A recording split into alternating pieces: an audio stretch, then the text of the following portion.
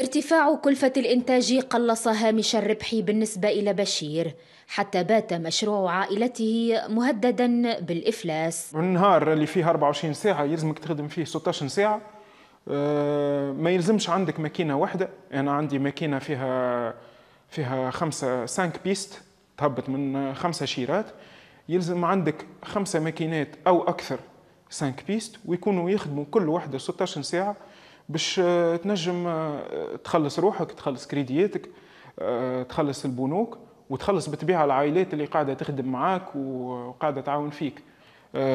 جاتنا أيامات الحقيقة في ظرف السكر المقطوع في ظرف البينوري.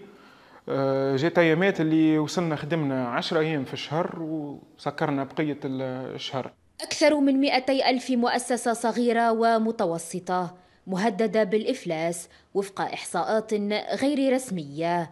واقع فاقم ديون صغار التجار والحرفيين في مختلف القطاعات النشيطة التي تشكل 90% من النسيج الاقتصادي في البلاد. المشكل هو أنه عدم توفر السيولة وعدم توفر القروض وعدم توفر التسهيلات ومعناتها آه، البنوك اللي عندها مطالب مجحفة في الضمانات يلتجئ صاحب المؤسسة إلى إصدار شيكات ضمان وشيكات مؤجلة وهذا ما يفتح الباب للمخاطر أنه يكون معناتها في السجن وتدمر المؤسسة. الحكومة التونسية تسعى إلى تخصيص 120 مليون دولار بتمويل من البنك الدولي لدعم المؤسسات الصغيرة والمتوسطة وإنعاش الاقتصاد.